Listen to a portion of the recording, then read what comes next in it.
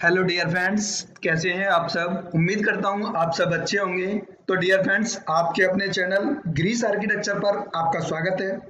दोस्तों, आज की वीडियो में हम बात करेंगे 22 feet by 42 feet plot size planning के बारे में, जिसको हमने 3 B H K with car parking plan किया हुआ है। फ्रेंड्स चैनल पर पहली बार आए हैं और चैनल को अभी तक सब्सक्राइब नहीं किया है तो नीचे रेड बटन पर क्लिक करके चैनल को सब्सक्राइब कर लीजिए। आप अपने घर का नक्शा बनवाना चाहते हैं या फिर कंस्ट्रक्शन से रिलेटेड कोई जानकारी लेना चाहते हैं तो आप हमें कॉल कर सकते हैं। कॉन्टैक्ट नंबर आपके लिए डिस्क्रिप्शन बॉक्स में दिया हुआ है। तो फ्रेंड्स चलिए वीडियो को स्टार्ट करते हैं। तो फ्रेंड्स ये आप देख रहे हैं, ये हमारा बाईस फिट बाई 42 फीट का प्लॉट साइज़ है, जिसके वन साइड रोड है और थ्री अदर साइड अदर लोगों की प्रॉपर्टी है। फ्रेंड्स यहाँ से हमने एंट्री दी हुई है। नौ फीट छः इंच की ये हमारी एंट्री रहेगी। एंट्री करते ही आपके लिए पार्किंग एरिया और स्टेयर एरिया दिया हुआ है। यहाँ से हमारा स्टेयर फ़र्स्ट फ्लोर के लिए जाएगा।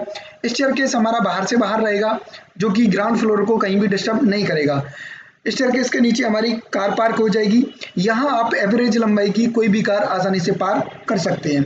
फ्रंट पर फ्रेंड्स हमने कॉमन टॉयलेट डिज़ाइन किया हुआ है, पाँच फिट छः इंच बाई चार फिट का, जिसका वेंटिलेशन हमने रोड की साइड दे रखा है, जिसमें ये हमारा टॉयलेट सीट और ये हमारा वॉश बेसन रहेगा। यहाँ से आप घर में एंट्री करते हैं। एंट्री करते ही आपके लिए lobby area 11 feet by 7 feet छः इंच का दिया हुआ है, जिसमें ये हमारा बेड रहेगा। ये हमारा टीवी यूनिट रहेगा। यहाँ से फ्रेंड्स आप एंट्री करेंगे तो ये हमारा फ्रंट पर ही फ़र्स्ट बेडरूम रहेगा 11 फीट बाई 9 फीट 3 इंच का, जिसमें ये बेड रहेगा, ये हमारा बाथरूम रहेगा। यहाँ फ्रेंड्स विंडो रहेगा, इस विंडो से आप बेडरूम के लिए कूलर या फिर विंडो एसी लगा सकते हैं। और इस विंडो से बेडरूम में प्रॉपर लाइट रहेगी और एयर सर्कुलेशन रहेगा। फिर आप यहाँ से आगे बढ़ेंगे तो ये फ्रेंड्स हमारा किचन रहेगा, जो कि ओपन किचन है मॉड्यूलर किचन है। नौ फिट बाई सात फिट का, जिसमें ये हमारा गैस स्टोव ये हमारा सिंक रहेगा।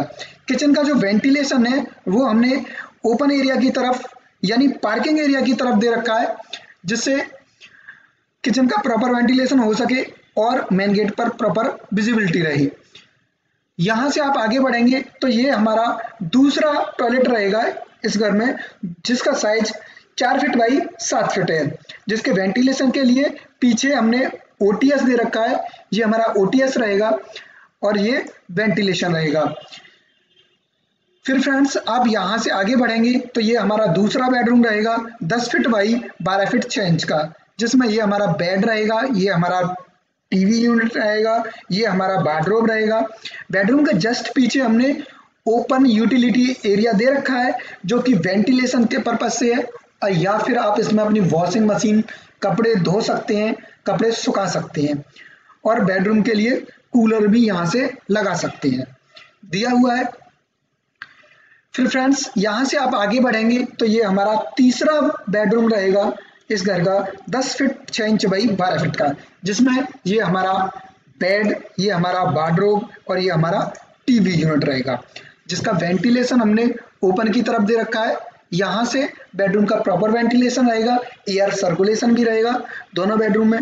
तो फ्रेंड्स ये था 22 फिट बाई 42 फिट का बहुत ही खूबसूरत नक्शा।